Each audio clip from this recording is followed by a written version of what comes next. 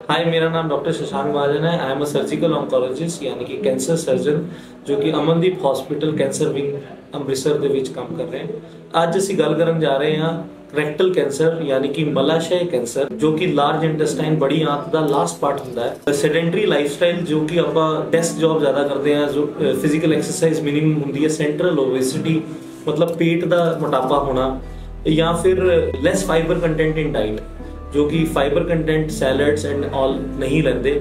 ਔਰ ਉਹਦੇ ਕਰਕੇ ਇਹ ਕੈਂਸਰ ਹੋਣ ਦੇ ਚਾਂਸ ਜ਼ਿਆਦਾ ਹੁੰਦੇ ਹਨ। ਜ਼ਿਆਦਾਤਰ ਇਹ ਦੇਖਿਆ ਗਿਆ ਕਿ ਆਪਣੇ ਸ਼੍ਰੀਨਗਰ ਵਾਲੇ ਏਰੀਆ 'ਚ ਇਹ ਕੈਂਸਰ ਜ਼ਿਆਦਾ ਹੈ। ਹਾਂ ਫਿਰ ਇਹਦਾ ਕੀ ਇਲਾਜ ਹੈ? ਸੋ ਰੈਕਟਲ ਕੈਂਸਰਸ ਅਸੀਂ ਤਿੰਨ ਭਾਗਾਂ 'ਚ ਵੰਡਦੇ ਹਾਂ। ਸਭ ਸੇ ਸਭ ਤੋਂ ਉੱਪਰ ਵਾਲਾ, ਵਿਚਕਾਰ ਤੇ ਲਾਸਟ ਵਾਲਾ। ਜੋ ਬਿਲਕੁਲ ਹੀ ਥੱਲੇ ਵਾਲਾ ਹੁੰਦਾ ਹੈ, ਉਹਦੇ ਵਿੱਚ ਯੂਜੂਅਲੀ ਅਸੀਂ ਪਹਿਲਾਂ ਰੇਡੀਏਸ਼ਨ ਐਂਡ ਕੀਮੋ ਸਟਾਰਟ ਕਰਦੇ ਹਾਂ। ਫਿਰ ਆਪਾਂ ਉਹਦਾ ਰਿਸਪੌਂਸ ਦੇਖਦੇ ਹਾਂ।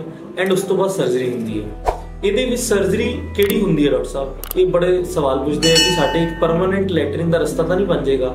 ਸੋ ਅੱਜ ਅੱਜਕੱਲ ਕਿਉਂਕਿ ਐਡਵਾਂਸ ਟੈਕਨੀਕਸ ਆ ਗਈਆਂ ਨਿਊ ਨਿਊ ਟੈਕਨੀਕਸ ਆ ਗਈਆਂ ਲਾਈਕ ਰੇਡੀਏਸ਼ਨ ਐਂਡ ਆਲ ਤੇ ਉਹਦੇ ਨਾਲ ਆਪਾਂ ਰਸਤਾ ਪੱਕਾ ਬਣਾਉਣ ਲਈ ਜ਼ਰੂਰੀ ਨਹੀਂ ਹੈ। ਆਪਾਂ ਇੱਕ ਨਾਰਮਲ ਰਸਤਾ ਬਣਾ ਕੇ ਵੀ ਕੰਮ ਚਲਾ ਸਕਦੇ ਹਾਂ। ਪੇਸ਼ੈਂਟ ਇੱਕਦਮ ਨਾਰਮਲ ਤਰੀਕੇ ਨਾਲ ਵੀ ਸਟੂਲ ਪਾਸ ਕਰ ਸਕਦਾ ਹੈ। ਇਹਦੇ ਲਈ ਆਪਾਂ ਲੈਪਰੋਸਕੋਪਿਕ ਸਰਜਰੀ ਵੀ ਕਰ ਸਕਦੇ ਹਾਂ। ਅਸੀਂ ਇਸ ਹਸਪੀਟਲ ਦੇ ਵਿੱਚ ਲੈਪਰੋਸਕੋਪਿਕ ਸਰਜਰੀਜ਼ ਰੈਕਟਲ ਕੈਂਸਰਸ ਲਈ ਆਲਰੇਡੀ ਕਰ ਰਹੇ ਹਾਂ। ਇਹਦੇ ਵਿੱਚ ਕੀ ਕਿਵੇਂ ਪਤਾ ਲੱਗਦਾ ਹੈ ਕਿ ਸਾਨੂੰ ਰੈਕਟਲ ਕੈਂਸਰ ਹੋ ਗਿਆ? ਤੁਹਾਨੂੰ ਜ਼ਿਆਦਾਤਰ ਪੇਸ਼ੈਂਟਸ ਕੀ ਕਹਿੰਦੇ ਕਿ ਸਾਨੂੰ ਲੈਟਰਿਨ ਦੇ ਵਿੱਚ ਖੂਨ ਆਉਂਦਾ ਜੀ।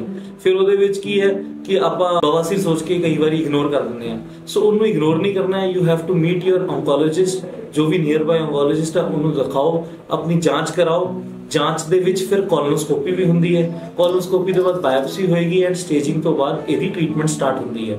ਇਹਦੇ ਵਿੱਚ ਜੇ अर्ਲੀ ਸਟੇਜ 'ਚ ਪਹੁੰਚਦਾ ਹੈ ਪੇਸ਼ੈਂਟ ਤੇ ਬਹੁਤ ਅੱਛੇ ਰਿਸਪੌਂਸ ਦੇਖੇ ਜਾਂਦੇ ਆ ਕਿਉਰੇਟਿਵ ਇੰਟੈਂਟ ਬਹੁਤ ਅੱਛੀ ਦੇਖੀ ਜਾਂਦੀ ਹੈ।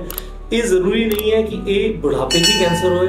ਇੰਡੀਆ ਦੇ ਵਿੱਚ, ਜੋ ਕਿ ਬਹੁਤ ਇੰਪੋਰਟੈਂਟ ਪੁਆਇੰਟ ਹੈ, ਬਹੁਤ अर्ਲੀ ਸਟੇजेस 'ਚ ਇਵਨ 25 20 30 ਏਜ 'ਚ ਵੀ ਦੇਖਿਆ ਜਾਂਦਾ ਹੈ।